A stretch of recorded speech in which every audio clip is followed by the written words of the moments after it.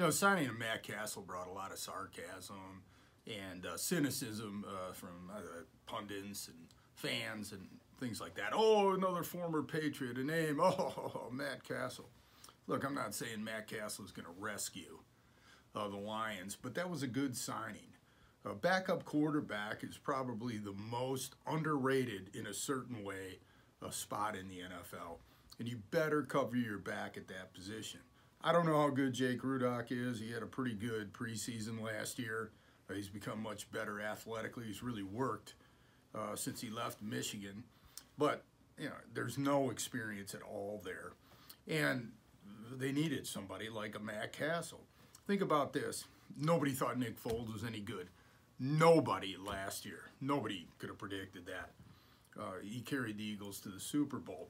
Think about this: Case Keenum. Oh, Case Keenum.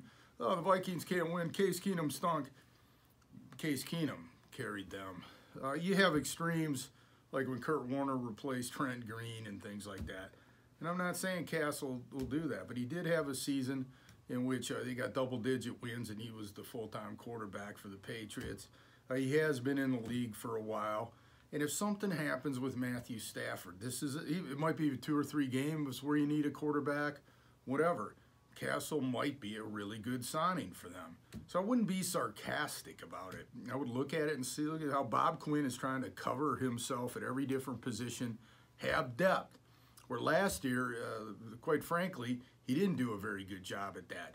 And quarterback is one of those positions. So I, I didn't think it was the hugest signing in the history of the world. But trust me, something happens to Stafford and they need a backup quarterback, we'll see. I don't know if he can play anymore but they needed to cover that position a little bit better than Jake Rudock, who's never taken a snap in the game.